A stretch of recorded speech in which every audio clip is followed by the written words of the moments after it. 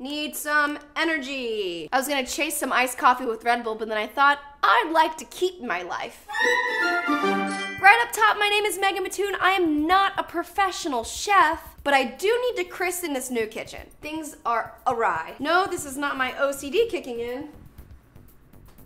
But then again, maybe it is. How about this? We're going to celebrate by throwing a party for ourselves and the kitchen. Close call. So that means we need to make something sweet. That's usually what people want when you celebrate things. Birthday cakes. I just stopped there. The other day I was at this vegan restaurant and I tried one of their desserts thinking it would be pretty mediocre, and it ended up being one of the best desserts I've ever had. It was essentially a Rice Krispie treat made of quinoa. Let's see how easy it is to make. Wow, Jurassic Park has made a comeback. First thing you're gonna need is a saucepan. I think this is a saucepan. It's a pan, and it's gonna put sauce in it, so sheesh delish. Sheesh little wish. This is gonna be seemingly easy because if you've ever made Rice Krispie treats, you just heat a bunch of ingredients, mix some stuff up, and let it cool. Starting off with coconut oil. Heaven's jizz. Oh my, it happened. I can't cut it out. I could, but I found a recipe that I'm gonna follow kind of closely, but of course I'll change it a little bit because I don't trust anybody. Isn't it funny how there's truth in all the jokes? Five tablespoons of coconut oil. One, two, three, four, five. And then we just put this on our arm. Next up, maple syrup. Six tablespoons of maple syrup? No wonder it tasted good. That's the entire bottle. One, two, three, four, five. Wow. And almond butter. Ugh. Now this is heaven's heart. Two tablespoons of almond butter. Clean up is part of cooking. Throw this on the stove and mix it around until it's melted. In the meantime, get a mixing bowl. A mixing bowl. Wow. Mixing bowl doubles as a megaphone. I would yell something, but I don't have anything great to say. It's nice to be self-aware. I'm also very clumsy. Now, our star ingredient, sorry, almond butter, puffed quinoa. I know what you're thinking. Well, first of all, what in the heck is puffed quinoa? I've never even heard of that in my life. You and me both until I looked at this recipe. Second of all, why does it look like I have enough to feed the Brady Bunch for eight years? I don't know. If you don't have this at your local grocery store, you can make it at home by using normal quinoa. Initially, I was gonna puff the quinoa myself just so you could see it, but then I realized it takes about three to five hours. And you know what doesn't take three to five hours? Clicking order on Amazon Prime. So, two cups of puffed quinoa. This just seems like a farce. Before we put all of our wet ingredients and mix them into the dry ingredients, we need a tin that we are going to put in the freezer for it to set. I have a round cake pan and rectangular Tupperware. I would prefer it to be in a rectangle shape, but I don't know if I get to choose what I want in this life. Currently, this is where we're at.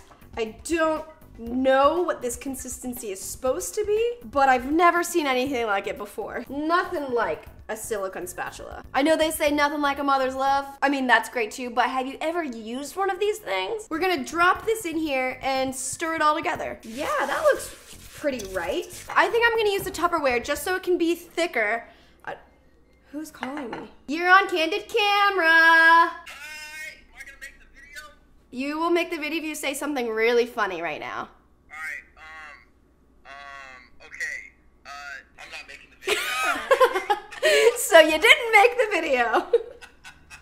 but, but, bye. But, but, but, bye should be my new tagline. This happened. This is good geometry lives on. Gonna pack it down onto the side so that it's completely equal on the very top. This is like a culinary bonsai garden. I am relaxed and into this. Oh, you know what I should have done? I should have put almond butter on the bottom of this. Maybe I could put it on the top. Oh, it's not the same. If you do decide to make this, put almond butter on the bottom and then tell me how it goes. Cause I feel like that is a better idea. What's this?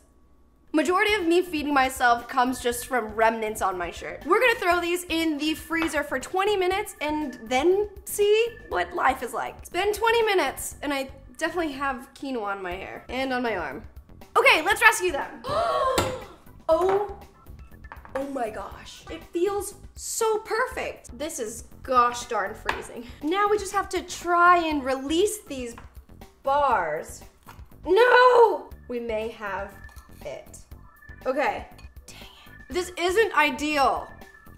Oh my gosh, it's not doing it! Was I supposed to grease it? What? In the meantime, I'm gonna make little balls, but this one I am still hoping to get bars out of it. Should I microwave this upside down for like five seconds? Okay, sure. This seems like a bad idea, but it's happening still. Okay, wait, I think I'm getting somewhere. This one's just very, very small. Listen, I don't see shape. I just see healthy snacks, said the cannibal. If I made this again, I would probably do less coconut oil and more almond butter. I'm cutting it in a grid, like a tic-tac-toe grid, so we have nine chances of winning.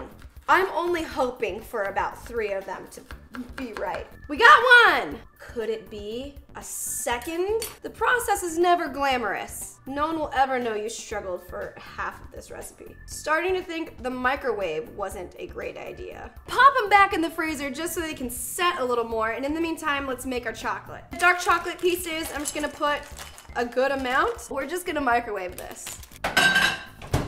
Continue doing this until all of it's melted. The residual heat is gonna melt the chocolate chips and at the same time give you an arm ache. If you're tired, you're on the right track. Our Crispies have set. Now we just need to drizzle. All right, I feel comfortable and confident. Now let's take one of our mistakes and use it to amplify our product. I'm gonna take some of these remnants and sprinkle them right on top to garnish. And there you have it. These are your quinoa crispy treats. My name's Megan Batoon, and if you do decide to make this at home, best of luck. But, but, but, cheers. Mm. This bomb.